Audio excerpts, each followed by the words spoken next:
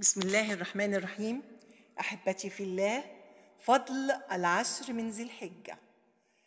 اقسم الله بها في كتابه تنويها بشرفها وعظم شأنها فقال سبحانه بسم الله الرحمن الرحيم. والفجر وليال عشر والشفع والوتر. وشهد النبي صلى الله عليه وسلم بأنها أعظم أيام الدنيا وأن العمل الصالح فيها أفضل منه في غيرها كما في حديث ابن عباس رضي الله عنهما حيث قال صلى الله عليه وسلم ما من أيام العمل الصالح فيهن أحب إلى الله من هذه الأيام العشر. فقالوا يا رسول الله ولا الجهاد في سبيل الله؟ قال ولا الجهاد في سبيل الله إلا رجل خرج بنفسه وماله فلم يرجع من ذلك بشيء. وفيها أيضا يوم عرفة الذي قال صلى الله عليه وسلم كما في حديث عائشة ما من يوم أكثر من أن يعتق الله فيه عبدا من النار من يوم عرفة وأنه يباهي بهم الملائكة. وفيها أيضا يوم النحر الذي هو أعظم الأيام عند الله سبحانه وتعالى. وإنما حظيت عشر ذي الحجة بهذه المكانة والمنزلة لاجتماع أمهات العبادة فيها وهي الصلاة والصيام والصدقة والحج.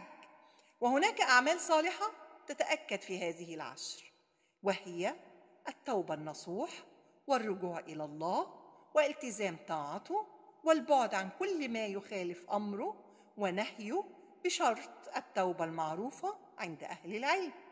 ومن أعمال عشر ذي الحجة الحج إلى بيت الله الحرام.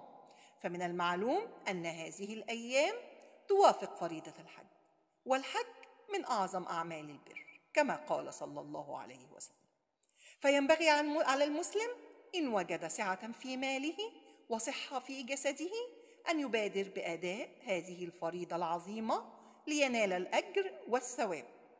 ومن أعظم ما يتقرب الله به إلى الله في هذه الأيام العشر المحافظة على الواجبات وأدائها على الوجه المطلوب شرعا.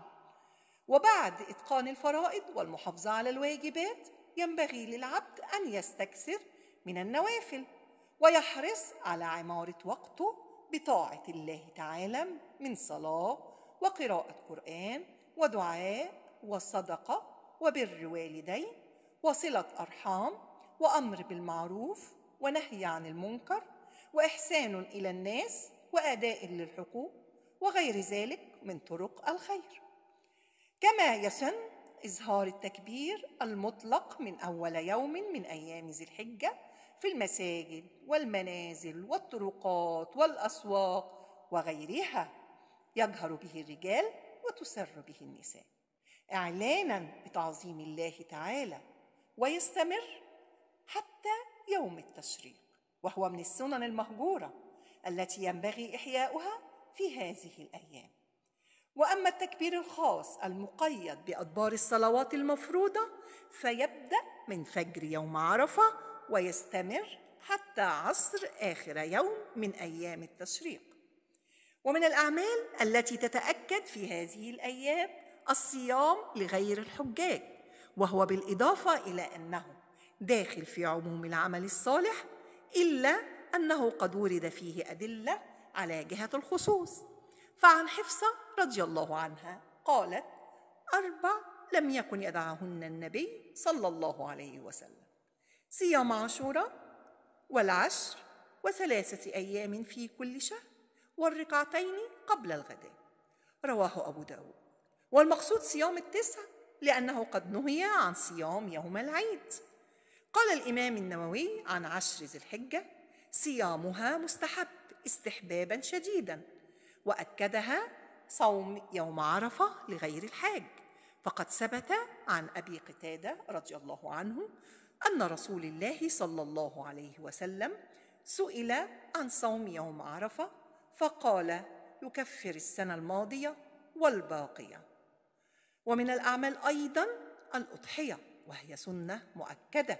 في حق الموسر بل إن من العلماء من قال بموجبها أو بوجوبها وقد حافظ عليها النبي صلى الله عليه وسلم.